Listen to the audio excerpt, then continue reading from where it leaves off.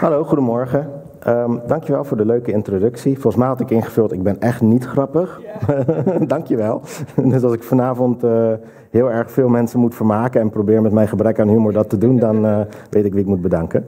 Goedemorgen, um, dit is uh, Trends in Online Payments 2018. Ik geef deze presentatie wel vaker in grotere en kleinere groepen. Um, en je moet hem dan wel af en toe updaten, dus dat heb ik weer gedaan.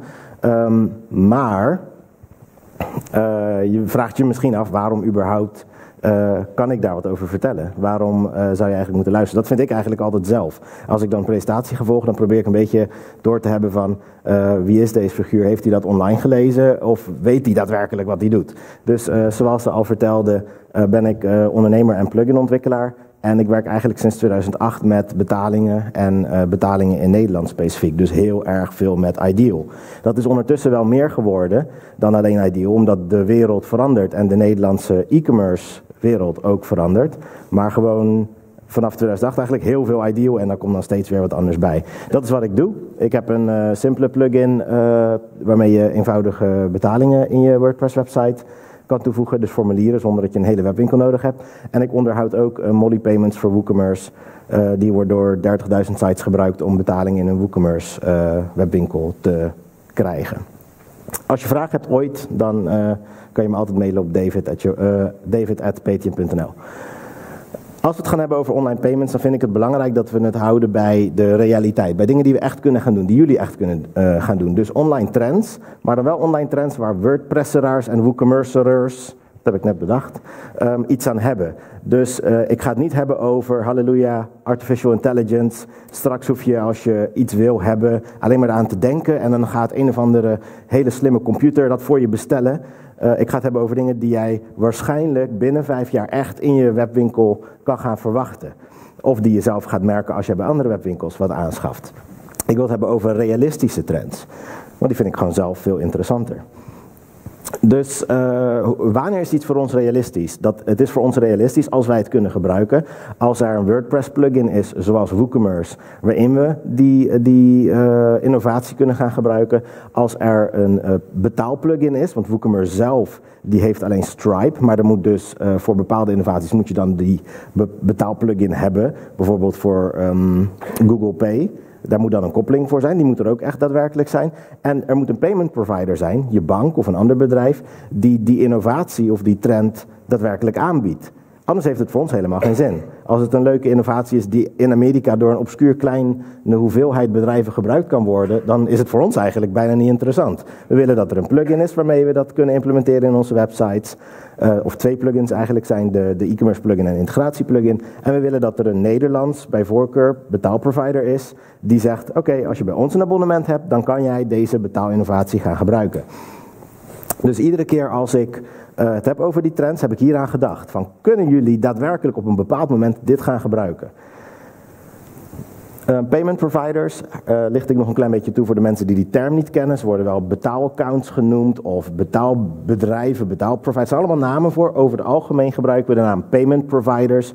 Het zijn bedrijven of banken die jou helpen om betalingen te accepteren. Dat doe je nooit helemaal zelf dat mensen geld overmaken direct naar jouw bankrekening. Dan is het gewoon een bankoverschrijving. Maar als je het hebt over online payments, heb je zo'n tussenpartij die jou helpt. dan kan ik je één tip geven als je nog steeds dan bij banken een account wil afsluiten. Een bank voor je zakelijke rekening, sure, ga je gang. Dat is eigenlijk hartstikke logisch. Maar over het algemeen, eh, als je een ideal abonnement wil of een abonnement voor een andere betaalmethode, kies dan voor een payment provider. Die zijn bijna altijd sneller, beter, stabieler, betere ondersteuning. Uh, dus dat is eigenlijk een, een, een, snelle, een snelle tip. Als je nog steeds denkt van ik uh, zit bij de Rabobank en banken zijn zo fijn en zo veilig en ik wil dus graag Rabo Omnicassa. Uh, over het algemeen zijn de betaalproviders, dus die bedrijven die zich hierin specialiseren, gewoon een stuk beter, goedkoper, sneller, noem het maar op.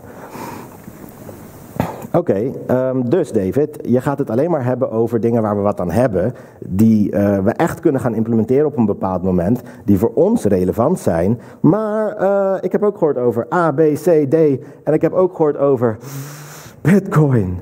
Ga je daar dan niet over hebben? Oké, oké. Voor jullie ga ik het alleen maar over Bitcoin hebben. Ik ga uh, over onrealistische dingen die niet echt relevant zijn voor mensen met een WooCommerce webwinkel of WordPress website. Ga ik, het over, ga ik het wel even over Bitcoin hebben. Ik zal dat toelichten. Dan heeft iedereen die denkt van nou ik wil onrealistische dingen die ik niet in mijn webwinkel moet gaan bouwen, daar wil ik het toch over hebben. Dan kunnen jullie even uh, hier heel blij mee zijn. En dan ga ik daarna weer verder op de serieuze tour. Um, Bitcoin, daar horen we zoveel over. De een is er blij mee, de andere die heeft er een hekel aan en de ander die moet zijn huis verkopen omdat hij al zijn geld heeft uh, verkwanseld. Um, kan je dat in je webwinkel gebruiken? Simpel antwoord, eigenlijk niet. Het, het, werkt niet. Stripe, een van de grotere payment providers, die heeft juist recent laten weten dat zij geen nieuwe klanten meer uh, Bitcoin gaan aanbieden. En dat ze binnen zes maanden ook dat helemaal gaan uitbouwen. Een Nederlandse payment provider, Molly, die accepteert het nog wel. Maar dat is eigenlijk ook de vraag hoe lang ze dat nog gaan doen. Maar Stripe in ieder geval, die is vrij groot, vrij bekend. Uh, die heeft gezegd van nou, we gaan bitcoin betalingen niet meer accepteren. Uh, omdat het te duur is, de transactiekosten zijn te hoog geworden, belachelijk hoog. Veel hoger dan de 29 cent die je bijvoorbeeld voor Molly, uh, bij Molly betaalt voor Ideal. Of de 25 cent die je voor bankcontact betaalt bij CISO. En daarnaast duurt het ook veel te lang voordat die transacties bevestigd zijn. En dat zijn eigenlijk twee dingen die je niet wil bij een online betaling. Dan kan je mensen net goed een bankoverschrijving aanbieden. Je hebt mijn product aangeschaft, ga nu maar geld overmaken en over ongeveer één werkdag zal ik kijken of het erop staat. Ja, ga dan maar gewoon voor bankoverschrijving als je zo'n inefficiënt eh, betaalmethode wil gaan gebruiken. Bitcoin gewoon uit je hoofd zetten. Ik weet dat er heel veel over gepraat wordt door journalisten die in 9 van de 10 gevallen geen idee hebben waar ze het over hebben. Er zijn, er zijn ook hele interessante dingen. Vooral de technologie achter Bitcoin is interessant. Maar praktisch voor ons vandaag, 2018, in een WooCommerce webwinkel. Uh, bijna niet interessant. Tenzij je op de dark web allemaal illegale producten wil gaan verkopen, dan zou je wel moeten. Maar wij, zeg maar, de rest van de wereld. Oké, ik hoop dat je nu blij bent dat ik het over gehad heb en dat het heel duidelijk is. Don't go there. Just don't go there. Laten we het hebben over dingen die, uh, wel, die wel bruikbaar zijn voor ons. Allereerst laten we het hebben over, omdat we het nu hebben gehad over Bitcoin, iets simpels, iets eenvoudigs. Iets waar je zelf niet zo heel veel voor hoeft te doen. One-click payments. Binnen de e-commerce is het bekend dat hoe minder frictie er is, hoe meer mensen afrekenen. Er is een statistiek, die wordt al jaren genoemd en al jaren onderzocht. En over het algemeen, als ze hem opnieuw onderzoeken, blijft het ongeveer uh, hetzelfde, hetzelfde bedrag, of hetzelfde percentage. 60% van de mensen die iets in een webwinkel toevoegt, rekent niet af haakt uh, de cart abandonment rate, noemen ze dat. Dus de hoeveelheid mensen die niet uiteindelijk daadwerkelijk betaalt. En ze zijn dan aan het testen hoe zorgen we ervoor dat een hoger percentage mensen daadwerkelijk afrekent. En er is eigenlijk één oplossing: minder frictie. Iedere keer dat er minder frictie is in een webwinkel, rekenen meer mensen af. Geen verplicht account aanmaken. Niet je wachtwoord onthouden. En wat was mijn wachtwoord? Wat was mijn e-mail? Weet ik wat. Geen verplicht account aanmaken een gebruiksvriendelijke checkout met niet te veel stappen en al helemaal niet stappen die naar beneden en naar boven gaan. Dus gewoon lineair verzendmethodes, betaalmethodes, afrekenen, maar niet voeg een verzendmethode toe. Klik, wow, ineens zit ik op een compleet andere pagina met een andere UI en allerlei andere opties en dan denken mensen, wow, doei, ik ga wel naar bol.com en dan kan ik het op, eh, via een app lekker makkelijk downloaden. Dus hoe eenvoudiger, hoe simpeler, hoe uh, meer mensen afrekenen. En deze trend, one-click payments wordt eindelijk goed geïmplementeerd door verschillende payment providers. En dat ga je dan de komende tijd merken. Dat ziet er zo uit.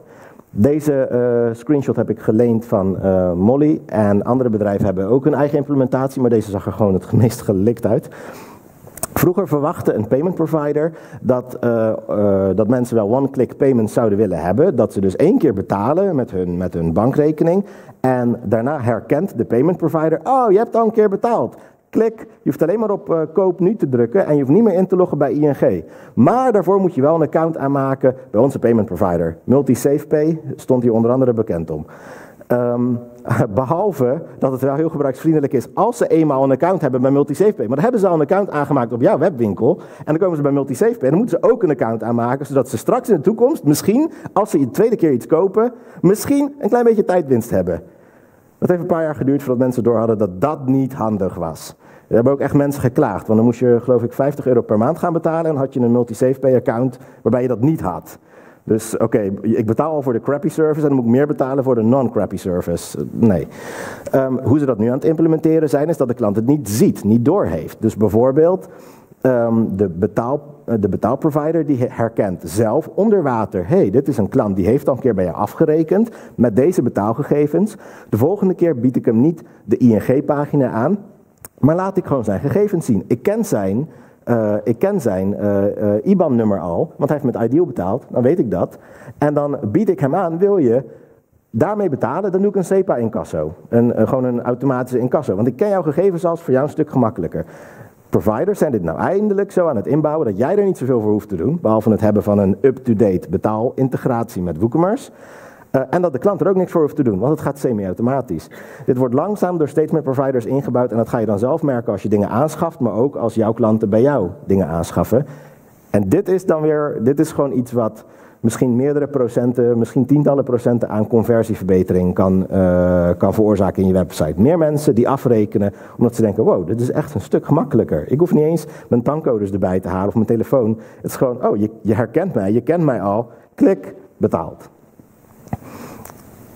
Het mooie nieuws is dat je daar niet zoveel voor hoeft te doen. Nog zo één, waar je niet zoveel voor hoeft te doen, is uh, SEPA Instant Credit Transfer. Dit was de, korte, de meest korte, simpele naam die ik kon vinden, want het is, uiteindelijk komt het uit een Europese wet, uh, PSD2.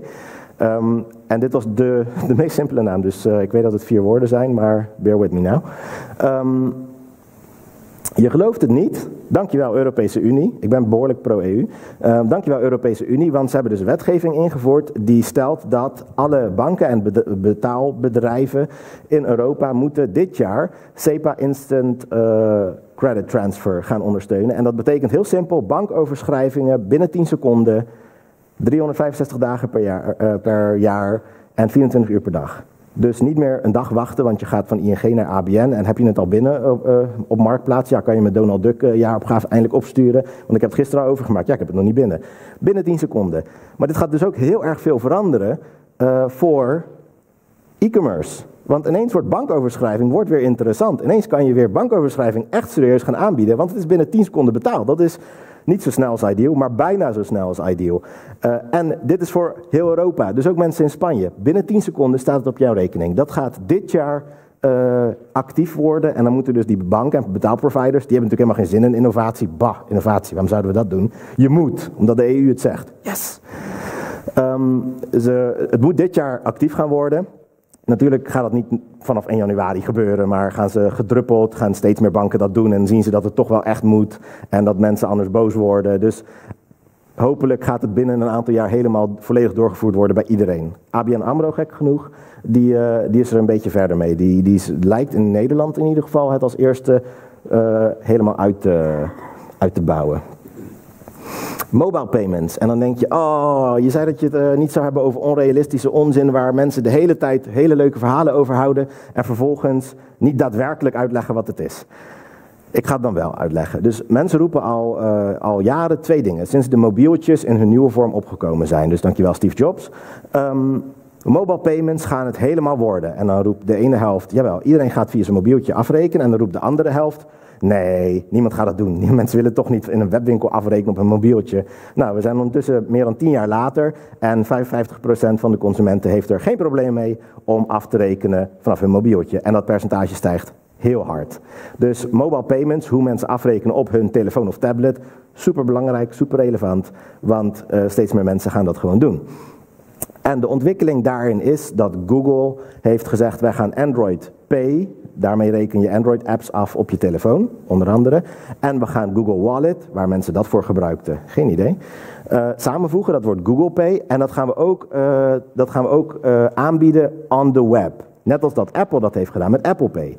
Bij Apple werkte dan alleen maar op een iOS-apparaat of een, een, Mac met Safari en niet in Chrome.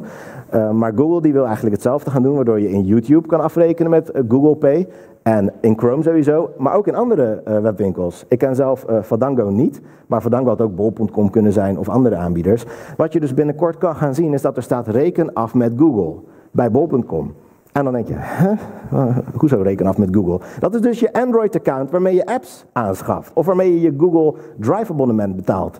Ze hebben superveel creditcards, honderden miljoenen creditcards. Omdat je een Android-account hebt op je Android-telefoon. En die gaan ze dus straks in jouw webwinkel beschikbaar maken. Waarom is dat voor jou relaxed? minder frictie. Mensen hebben die gegevens, hun creditcard, hun andere gegevens, hebben ze al bij Google staan. En nu krijgen ze één knopje, poep, waarmee ze kunnen afrekenen met hun bestaande Google-account. Weer minder frictie. Ze hoeven weer niet een tankcode, weer niet in te loggen bij ING of Rabobank of ABN. En dat allemaal omdat Google zegt, die honderden miljoenen mensen waarvan wij hun betaalgegevens hebben, worden dus nu voor jou als webwinkel ook beschikbaar. Je bent hierin wel afhankelijk van payment providers. Die moeten dit ook gaan ondersteunen. Maar als dit een beetje begint te lopen, dan zijn de payment providers eerder geneigd om het ook te gaan inbouwen in hun systeem. Google Pay is eigenlijk de Google variant van Apple Pay. Dus altijd iemand is de eerste en dan kopieert uh, Amazon of Google of Apple, die kopiëren dan elkaar. Heet innovatie en concurrentie. Goede dingen voor ons. Um, dan heb je de Payment Request API. Lijkt een klein beetje op um, Lijkt een klein beetje op wat je, uh, wat je net zag met Google Pay. Behalve dat dit dus een standaard is van het W3C. Uh, het W3C die houdt dus de standaarden bij HTML, CSS. En zij zijn dus bezig met Payment Request API om dat ook een standaard te maken. En het zorgt ervoor dat je eigenlijk, dit is een demo, uh, op dezelfde manier afrekent in de browser. En dan haalt hij dus weer, kan hij die gegevens uit de browser halen. Dus als je je creditcard hebt opgeslagen in Chrome bijvoorbeeld, dan uh, kan je met vingerafdrukscanner van je telefoon, omdat het geïntegreerd is met jouw telefoon, um, de creditcardgegevens gegevens uit Chrome halen en daarmee afrekenen. Dit is op een mobieltje. Ik heb nog een screenshot van hoe het eruit ziet op. Uh, dit is een demo van Stripe, hoe het eruit ziet op de desktop. Dus heb je zo'n Pay Now knop, die had in je WooCommerce site kunnen staan. En dan komt die zo open en dan ziet hij al mijn Mastercard. Zie je, David de Boer, dat ben ik. Ik heb hem zelfs weggeblokt, omdat het echt mijn creditcard was. Dat wist hij dus al. Ik had helemaal niks ingesteld. Hij haalde gewoon uit mijn browser die gegevens. Dus weer een stap naar frictieloos. We hebben al gegevens van jou, die gaan we gebruiken. Maar dit zorgt er straks vooral voor dat alle betalingen via dit interface kunnen gaan als iedereen dat gaat implementeren als standaard. Dus je hoeft niet meer te gaan naar ING, wat er weer anders uitziet dan ABN AMRO, of naar Sofort, wat er weer anders uitziet dan Belfius betaalbutton. Het gaat allemaal via dit interface. Weer minder frictie en meer mensen die afrekenen.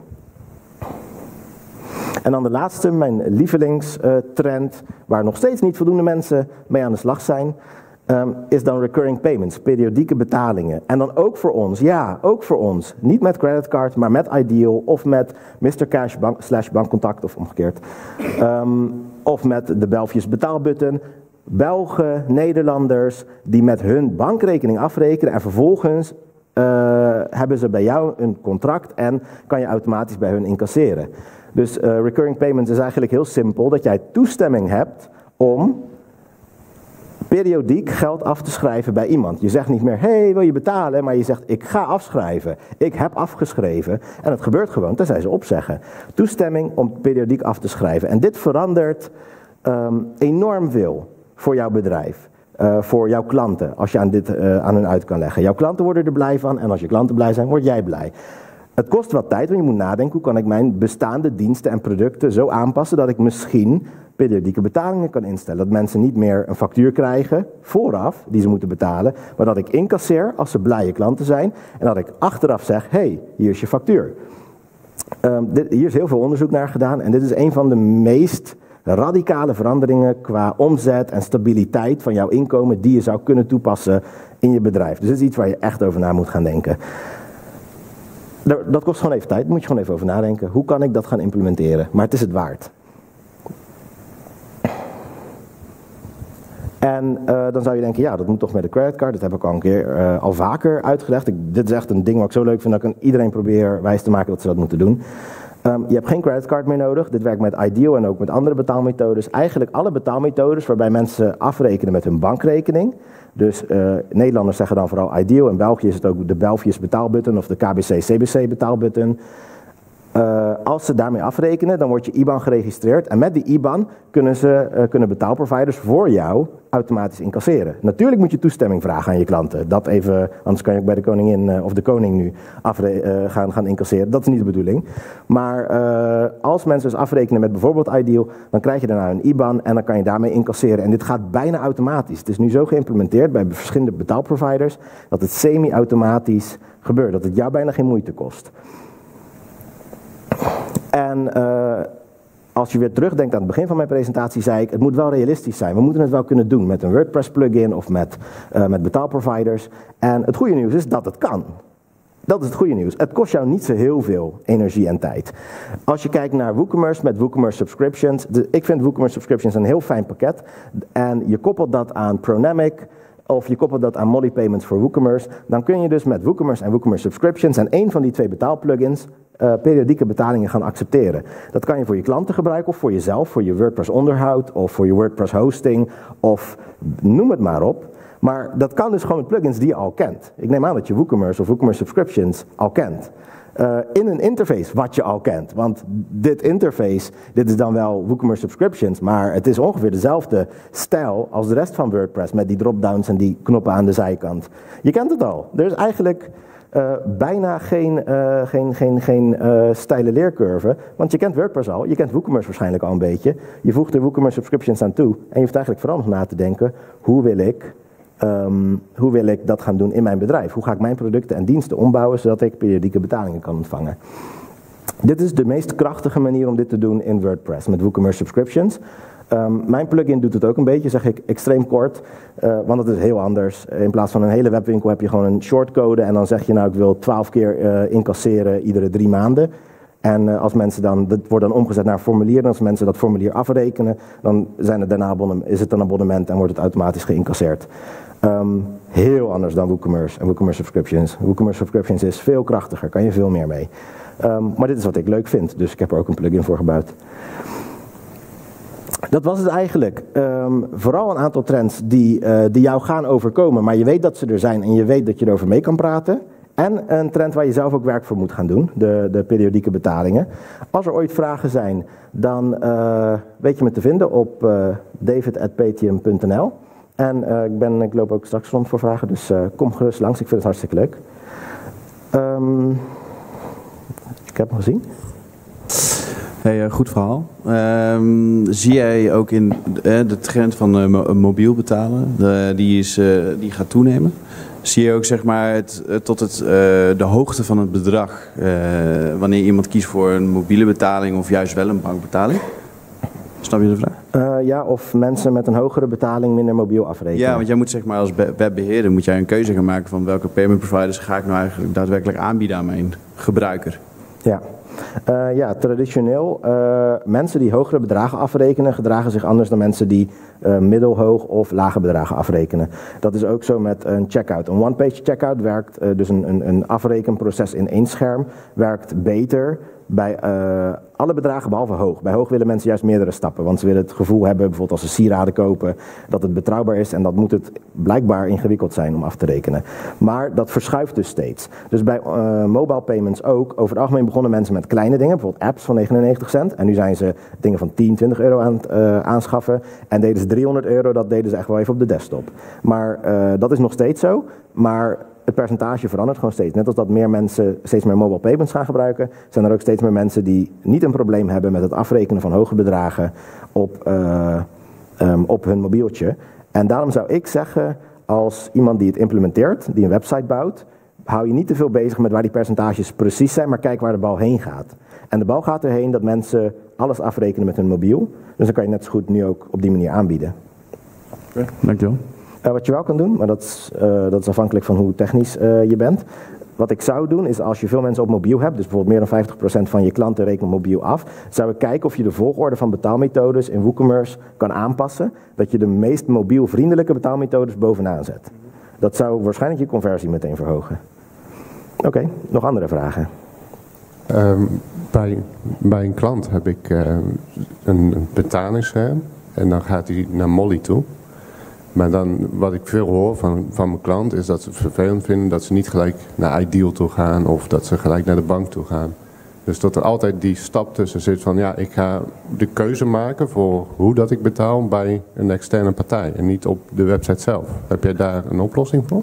Ja, dat kan je instellen. Met welke plugin is dit? Uh, dit is volgens mij van uh, Molly zelf. Heb ik ooit oh. eens. Um, dan moet je me straks even specifiek vertellen wat je gebruikt. Maar dat is in te stellen. Als je op de webwinkel zelf al mensen laat kiezen welke betaalmethode ze willen, dan slaan ze die keuze bij Molly over. En dan gaan ze meteen door naar die betaalmethode. Oké. Okay. Dank jullie wel.